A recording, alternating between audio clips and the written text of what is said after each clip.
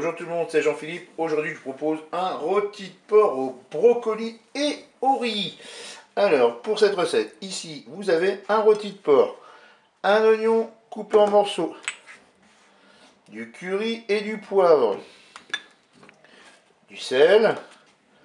Là, j'ai 600 euh, grammes, c'est du brocoli congelé, 3 cuillères à soupe d'huile, 150 grammes de riz, et là, j'ai 500 ml d'eau avec un cube de bouillon de bœuf émietté. C'est parti pour la recette. Je me mets en mode manuel. Ensuite, on va se mettre en mode doré. Et puis, on verse dans la cuve, eh bien, tout simplement, notre huile pour qu'elle chauffe.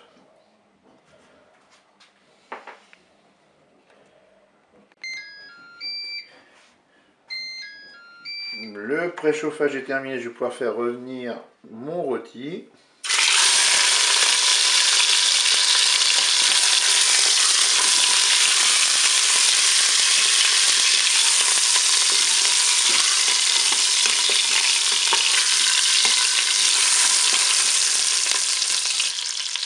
Allez, je vais ajouter euh, mes morceaux d'oignon.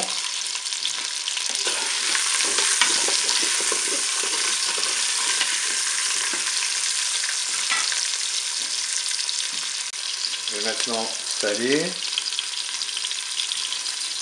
Je vais poivrer. Je vais ajouter mon bouillon. 500 ml d'eau avec un cube de bouillon de bœuf émietté.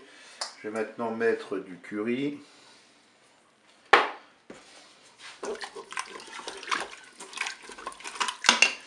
Je vais pouvoir euh, maintenant programmer une cuisson.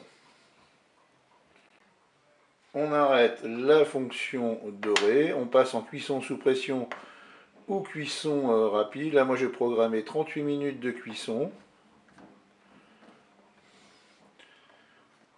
Faut pas hésiter à mettre du temps de cuisson, comme ça vous aurez une, viande bien tendre. Je fais OK, avec un départ immédiat, je ferme mon couvercle. On se revoit tout à l'heure pour la suite de la recette. Allez, la cuisson est terminée. On va ouvrir le cookéo.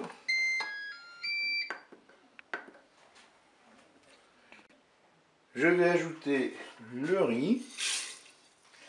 Je vais ajouter les brocolis dans la cuve. Et on reprogramme une cuisson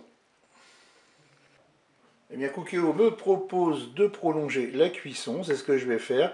Et là, je vais mettre 5 minutes, parce que mon riz, c'est un riz 10 minutes. Donc, euh, comme le Cookéo est deux fois plus rapide, je vais mettre que 5 minutes. Donc, je fais OK. Je ferme le Cookéo. Eh bien, on se retrouve tout à l'heure pour la fin de la recette. La cuisson est terminée. On ouvre le Cookéo.